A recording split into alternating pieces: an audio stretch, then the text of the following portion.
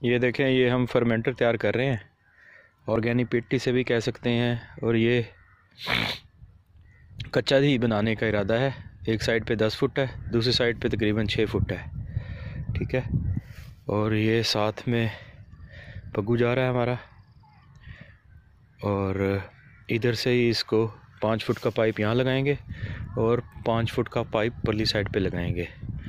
اس میں جو بات امپورٹنٹ ہے وہ یہ ہے کہ جو انٹرس کا پانی ہوگا، وہ والا پائپ آپ نے تھوڑا سا اوپر رکھنا ہے اور ایگزٹ والا پانی جو ہے وہ اس کا پائپ تقریباً چھ انچ نیچے رکھیں گے، ٹھیک ہے؟ دوسرا، کافی سارے اس طرح کے پٹ اور بھی دیکھے ہیں جو پکے بنے ہوئے ہیں، لیکن ہمارا فی الحال کچا ہی بنانے کا ارادہ ہے۔ اس پہ لاگت تو اتنی نہیں آئی، بس ایک ہی دن میں نوکر نے اس کو کھود دیا ہے۔ اور ابھی اس کے اندر پلاسٹک کی شیٹ بچھائیں گے۔ پلاسٹک کی شیٹ دو ایک سال چلتی ہے تقریباً۔ موٹی بچھائیں گے تو وہ تین سال چل جائے گی۔ لیکن ہوتا یہ ہے کہ آپ کی احتیاط پہ ہے۔ اگر ڈنڈا اندر زور زور کی ماریں گے تو ظاہر ہے نیچے سے پھٹ جائے گا اور پھر پانی نیچے کو لیک کرے گا۔ ٹھیک ہے۔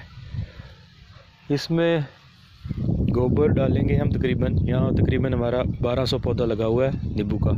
یہ اس کے لیے ہم بنا رہے ہیں۔ اور گوبر اس میں بس ہم دو تین ہاتھ والی جو ریڑیاں ہوتی ہیں وہی ڈالیں گے۔ میکسیمم لگا لیں آپ، پندرہ سے بیس کلو کی ہوگی۔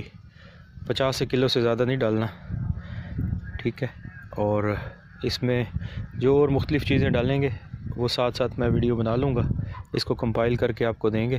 یہ میکسیمم میرے خیال میں ہزار پندرہ سو کا تیار ہو جائے گا۔ اس کے ایک دوست نے اور بھی مشورہ دیا تھا، وہ بھی مجھے اچھا لگا تھا۔ وہ مشورہ یہ تھا کہ آپ نے صرف پانی اس کے، اس سے بھرنا ہے اور پائپس نہیں لگانے۔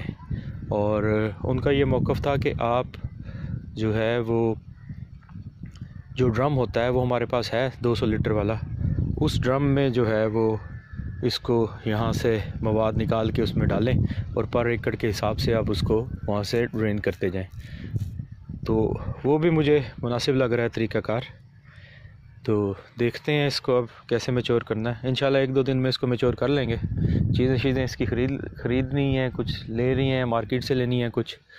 تو سات آٹھ چیزیں ڈلیں گی اس کے اندر۔ وہ انشاءاللہ پھر اپڈیٹ کر دوں گا میں ساتھ ساتھ۔